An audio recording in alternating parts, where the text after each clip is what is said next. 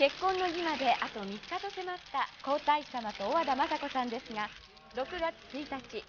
雅子さん一家は天皇皇后両陛下主催の夕食会に招かれ赤坂御所へ向かいました。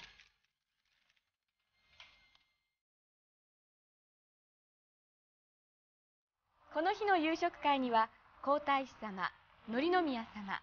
秋篠宮ご夫妻も同席され和やかな会食となったということです。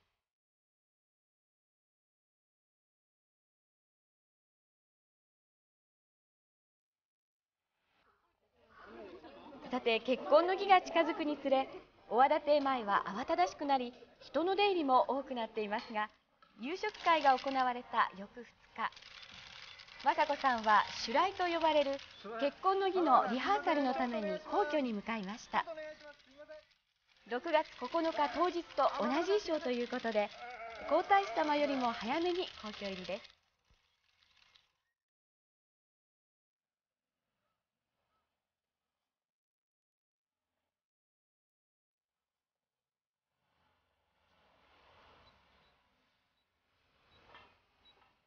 雅子さんが皇居入りしておよそ2時間後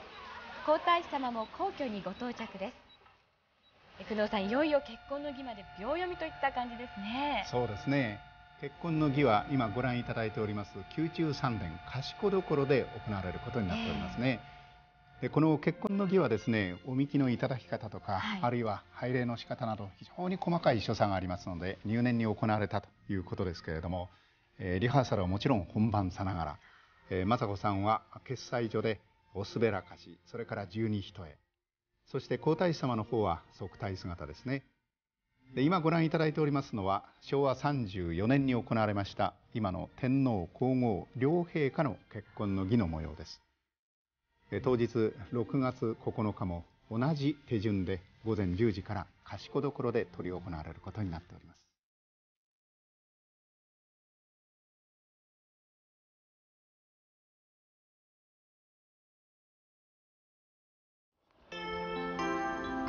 結婚の儀のリハーサルに続いて翌日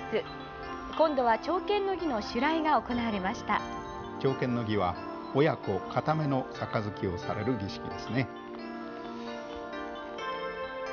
この日はまた雅子さんのお嫁入り道具の引っ越しも行われました。あいにくの小雨模様となりましたが朝小和田邸前にはテントも張られ厳重な警備のもと400個ほどの荷物が5台のトラックに積まれて東宮仮御所へと運び込まれました。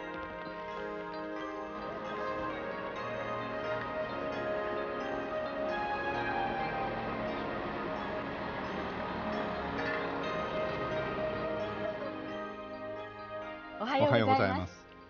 結婚の儀のリハーサルそして雅子さんのお嫁入り道具のお引越しと、まあ、本当にもう6月9日当日を待つばかりといった感じですよね。そうですねそれから雅子さんのあのお嫁入り道具の中では書籍類専門書がとても多かったと聞いているんですけど、ね、多かったようですね。えー、でただあの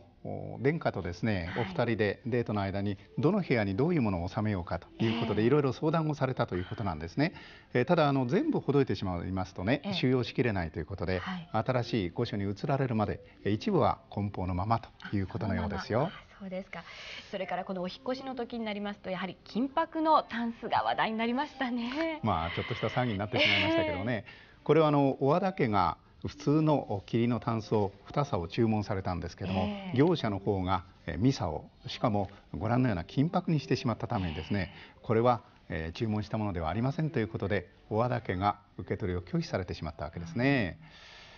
豪華といえば豪華なんです、ね、これはあの業者の方がですね独断で善意で金箔を貼ってしまいましたというお詫びの声明を出して、ええ。一見落着ということになったんですけども、まあ、天皇家というのは元来非常にあの質素を胸としてらっしゃいますからね、ね。うん、ちょっとこういうものは似つかわしくないんじゃないかなという気がしますが、ね、それからの町の方ももうお祝いムード一色になってきたんですが、えー、その中で記念の硬貨も発行されました。まずは1日大蔵省造幣局で行われた5万円金貨の打ち初め式です。5万円金貨は 18g の純金製で直径は2.7センチ。500円硬貨より一回り大きく